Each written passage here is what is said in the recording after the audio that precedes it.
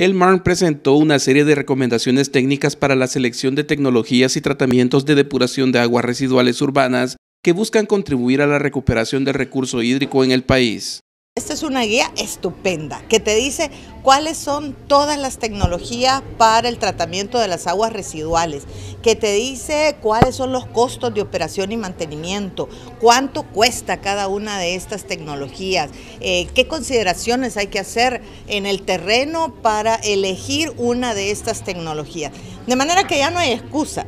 Aquí tenemos un manual que dice cómo hacer las cosas bien. Estas recomendaciones fueron elaboradas con el apoyo de expertos del Centro de Estudios y Experimentación de Obras Públicas CEDEX y el Centro de Nuevas Tecnologías del Agua CENTA de España.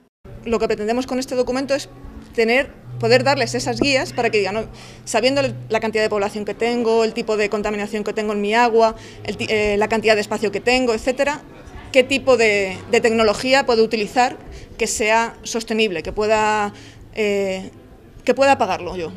La implementación de estas tecnologías proveerá a alcaldías, instituciones gubernamentales, academia y sector privado herramientas para diseñar sus propias plantas de tratamiento de aguas residuales. Esto es un avance importante que el Ministerio está dando a todos los municipios y especialmente El Salvador en cuanto al tratamiento de las aguas residuales. Es un tema que es bastante complejo, pero que estamos seguros que mediante las instituciones tomen su responsabilidad basado en la ley y todos los elementos que sean necesarios para atender esta situación, consideramos que el país va a salir adelante y este es un salto al desarrollo que está dando el país en tema ambiental. El documento contiene la descripción de requerimientos del área de terreno para la implementación de cada tecnología, costo estimado de construcción y operación de plantas de tratamiento. Además, será una guía que contribuya para descontaminar los ríos más importantes del país.